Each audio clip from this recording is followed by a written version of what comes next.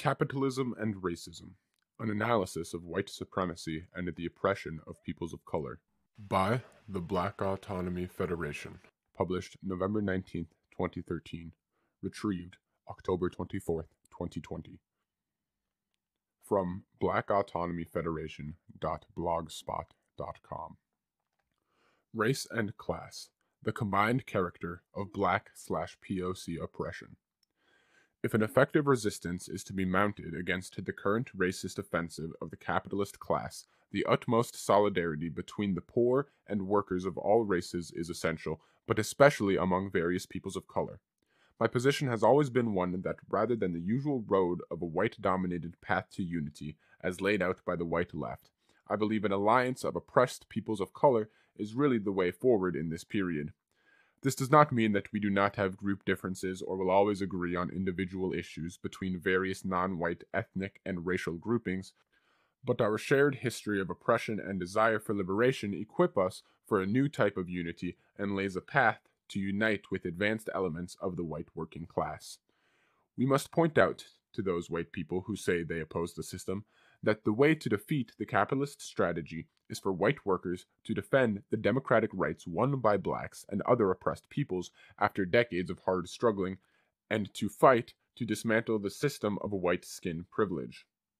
White workers should support and adopt the concrete demands of the black slash POC movement and should work to abolish the white identity entirely.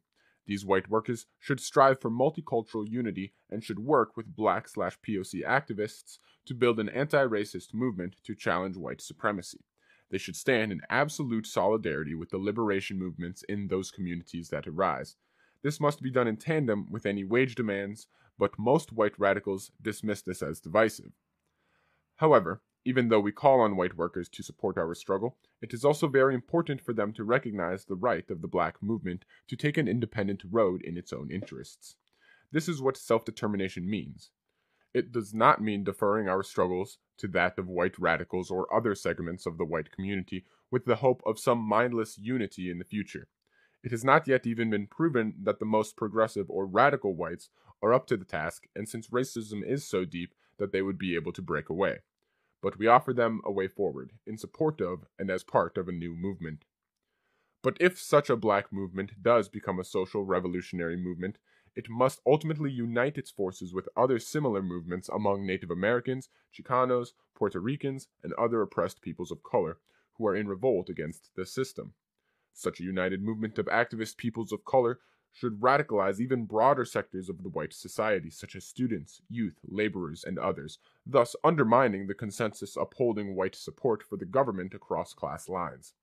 This is what we believe has the most potential for happening again radical autonomous movements acting as revolutionary incubators of broad based struggles, although it is not enough to call for mindless unity as much of the white left does. Their unity just means white leftist control and leadership of the overall struggle.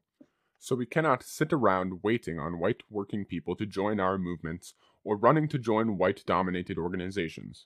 White people are still not in the same desperate circumstances as blacks, Latinos, or Native Americans, nor want to see the system defeated now, as long as it serves them.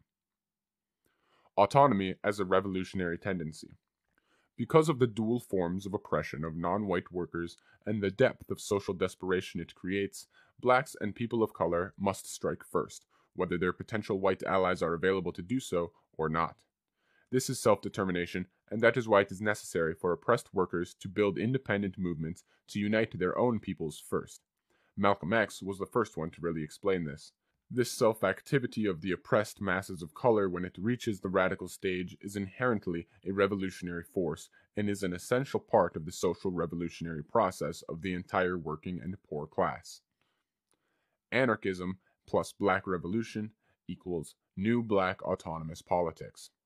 Although anarchists do not believe in vanguard political parties, the reality is that because of the peculiarities of the United States of America's social development and especially racial slavery, Africans in America and other peoples of color with a shared history are predisposed to lead at least the beginning states of a social revolution, thereafter enlisting or being joined by its potential allies in the white working class. African Americans constitute a class vanguard, a class capable of radicalizing society with its struggle against racism and capitalism. Most white radicals at least give lip service to understanding this, especially since the black power and civil rights struggles unfolded in the 1960s, although they still hang on to the white working class hero ideology of the past to try to deflect these issues with a backward class argument. We cannot simply wait around for white people to get it and become active in our cause. Even though blacks and people of color are a minority of the total population, there can be no successful social revolution in the United States without black and non white people not just taking equal part in a white dominated movement, but in fact leading the way. The US class system is based on racialized social, economic, and political oppression. With such a race and class divided society, to ignore this basic fact is a sellout or capitulation to white supremacy rather than reducing all contradictions to class alone, like most white radicals continue to do, we must understand the workings of racism as part of the structure of overall oppression. In fact, for white radicals to ignore this means that they themselves are engaging in white chauvinism of the worst sort by betraying the very idea of social revolution. Though they think they should lead everybody or have all the answers, United States social history has proven too many times that white middle class radicals cannot even lead working class whites, less known, the captive nationalities to freedom. Because of their almost total ignorance about race and class issues, white anarchist radicals don't even know what questions to ask and therefore can't come up with the right answers. So we organize in our own name and for our interests in a black slash POC autonomous movement rather than depend on them. The new autonomous politics is made up of the libertarian socialist core of anarchism and many of the tenets of revolutionary black nationalism, such as was stated and practiced by the original Black Panther Party. This combination of elements makes up something so new that it has not been fully defined before now. We will attempt to more sharply define what it is that we have been talking about for so many years and also place it within a historical context so that it can no longer be dismissed with an eclectic mishmash or corruption of both ideals, as the purists would claim. Yet it should not alarm anarchist ideological purists when we speak of an autonomous movement of anarchists of color. First, the early anarchist movement in America always reflected the cultural, social, and political ideas of the community that produced it. Thus, we had a Germanic dominated anarcho syndicalist tendency during the 1880s called the International Working People's Association, which was strong in Chicago, Pittsburgh, and a few other industrial cities. A Jewish anarchist movement in New York and other cities during the 1900s and lasted until the 1980s, wherein some whole newspapers were printed in Yiddish. An Italian movement also flourished in New York, New Jersey, and other urban areas in the 1920s through 30s, and so on. One European ethnic group after another produced unique American anarchist social movements which culturally and politically reflected those communities. So the question then becomes why should anyone be surprised to learn that there would be anarchist movements of Pacific Islanders, African Americans, or Latinos, among other peoples of color? In talking about anarchist ideals and autonomous movements, we are not talking about orthodoxies, which cannot be revised. We are talking about ideas which will be picked up, used by millions of oppressed peoples, and adapted to their purpose and circumstances. But many of the white anarchists have shown nothing but fear and loathing. Black autonomy is not black nationalism. We believe in self determination, but not any form of racial superiority. We do not negate class differences between rich and poor within any nationality. Those among us who seek to be our neo colonial masters, the Negro Z, are our enemies as much as the European racists. We do not seek to build a nation state for our own separate peoples. We subscribe to the major tenets of anarchism and anti authoritarian politics, although we redefine many of those to deal with our oppressed condition and ideas of liberation. Interestingly, it was Fred Hampton and the Chicago branch of the Black Panther Party which first conceived of a rainbow alliance of revolutionary organizations of various ethnic and racial groups way back in the late 1960s.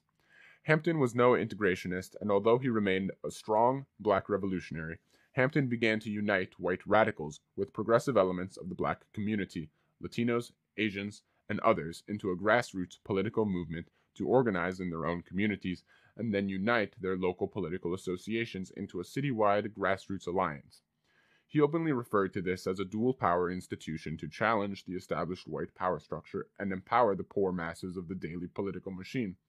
However, he was assassinated in December 1969 before he could really put his program into play.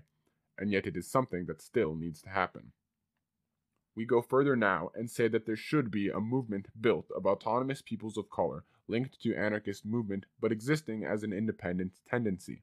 There have been short term alliances between ethnic and racial groups, but never has there been a real attempt to actually create a revolutionary organization of peoples of color. But what is needed is a radical break from the narrow race nationalism of our people first and only to a new radical consciousness of race and class, which embraces those peoples of color and oppressed peoples of diverse ethnic backgrounds that share views of autonomous political action. Many black nationalists and doctrinaire white radical groups alike would be opposed to this for reasons of their own. But the anarchist purists and black chauvinists both will just have to shudder, because a new movement is on the verge of happening now, and there is nothing that anybody can do to stop it. There are anti authoritarian activists of color of every ethnic group and hue who are taking the first slow steps toward building a tendency within the anarchist movement, or even venturing out as autonomous anti authoritarians. They have taken those ideals, which I and others have put out there, and made them into a class weapon reflecting the African, Asian, or Latino experiences on this continent, and thus taken the first steps to free their peoples and their class. This great sector of oppressed colored humanity has said we have had enough. Enough racism, enough poverty, enough degradation, enough oppression. They also know they will have to fight their own fight if they want to be free. Nobody from the white world is coming to save them although they know the revolutionary project to defeat this system of capitalism and enslavement requires millions of other allies who will help them. It is people of color who will decide the agenda, the timetable, and the tactics for obtaining our liberation. Too long have others spoken for us without our best interests at heart. The new black slash POC autonomous politics differs from European anarchism in that we know that we are oppressed as a distinct people and as workers. Currently, European dominated anarchism places its greatest contradictions with the state alone, with the state's ability to hold back a free lifestyle, and yet this is exactly what we cannot limit our critique to. This is a white worldview based on many members' privileged background in capitalist society. Some anarchists and other white radicals argue that we should not buy into any race differentiation at all, less known ideals of autonomy. To them we say yes, we realize that historically constructed races have been created under this system, which determines both manner of life and death under this system, and that the state upholds this race slash class system. Yes, we know that it is no accident that it is this way. Yes, it is also true that individual white workers have not commissioned racism, and we do not perceive all white people as enemies. However, we also know that this system really works for white supremacy, and that all classes of whites have been the beneficiaries of our oppression, and that white class collaborationism is part of the social control mechanism of the state. The fact is that it is the whites who should be the ones deconstructing whiteness and confronting white racism while we fight for freedom and liberation in our own way. Therefore, we vehemently disagree with the socialists, communists, and those anarchists who say that the oppression of all workers is identical under this system. This does not reflect reality at all. We say that we are a class of super oppressed people of color historically downtrodden equally because of our racial oppression under this system, not just our social class as workers. Even a cursory glance at history and everyday social reality proves that one's place in this racist society rides on the outcome of their skin pigment or ethnic makeup. So racism is a class doctrine used by the state for social control of workers of color. In fact, racism is the actual class relationship in North American society. I have pointed out before that so called white people are a contrived supranationality designed to help the capitalists keep workers of color in their place and safeguard the status quo. So rather than see the white industrial working class as a potentially revolutionary class, instead we see it as an opportunistic, collaborationist body which must be redefined and reorganized if it is to constitute a reliable ally for workers of color and have any ability of fighting in the interests of a new working class. As it stands now, they are fighting for white rights, not for the rights of the entire class of the poor and workers. As autonomous workers of color, we, of course, disagree with Marxists and other so called radicals who claim that an authoritarian political party and strong leadership cultism is necessary to produce a social revolution. But we go further and say that neither they nor the white anarchists can lead us as a people of color, or even themselves to our freedom, even though they have been conditioned as Europeans to command and rule over people of color and the lower class. We vehemently reject their misleadership and authoritarian rule over us, or their old ideals of white industrial workers as a proletarian class of saviors. Black autonomy is not separatist. However, we also have differences with the black and other race nationalists, although we may share many basic ideas with them on cultural autonomy. We also believe in and treasure many of the traditions and history of our peoples, but believe it must be demystified and made into a culture of resistance rather than personality cults or escapism from the reality of fighting racism and the state. Further, we categorically do not believe in any race nationalism, which demonizes white people and advocates some sort of biological determinism. We are not xenophobic, so do not entertain any race mythology about European peoples as either a superior species or as devils. And although we recognize the necessity of autonomous struggles in this period, we can work with white workers and poor people around specific campaigns. Our major point of our differences is that we are not seeking to build a black nation state. In fact, we believe the same class politics of haves and have nots will show itself within any type of black nation state, whether it's an Islamic secular New African or African socialist state, and that this will produce an extreme class differential and economic political injustice among those oppressed peoples of color. We can look at a succession of dictatorships and capitalist regimes in Africa to let us know this. We believe that a bourgeois class and political dictatorship is inevitable and that a people's revolution will break out under such a black nationalist government. Look what is happening today under the former apartheid government, now under black rule, united with the white capitalist class. The black bourgeoisie and business class have been elevated as the nominal ruling class, while the same economic forces are exploiting and oppressing the African working class and poor. Millions are homeless, unemployed, exploited at low wage labor jobs, and are landless. Capitalist black power has not freed black people even after apartheid has been defeated. Can the capitalist imperialist financial institutions take any less control of a black nation state in America? Sovereignty is not an option in such a world dominated by this system. A new black nation state on a North American land territory does not mean freedom any more than the ones in Africa, Asia, and Latin America.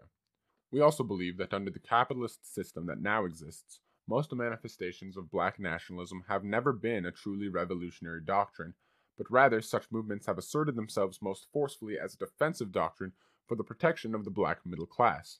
It is not even a movement to fight white racism, but rather an interest group politics which can battle for equal political power for black business people or the professional class under the system, not to remove it. So, a black nation state is not the answer to our problems as an oppressed people. In fact, it leads us back to slavery, just as it has not led to freedom for any of the world's people, just flag independence. It replaces the white master for the black master. We are not immune from the laws of social change. The state is an oppressive institution by its very nature.